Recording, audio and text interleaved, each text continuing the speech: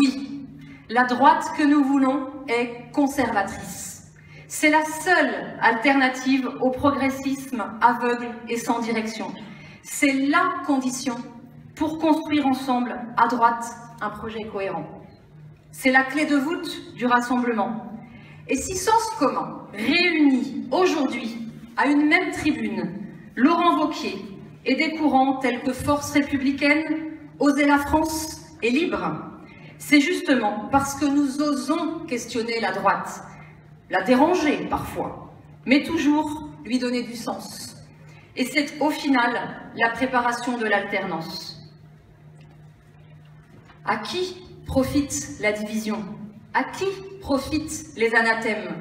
À qui profitent les caricatures malhonnêtes? Certainement pas aux Français, que nous servons avec dévouement.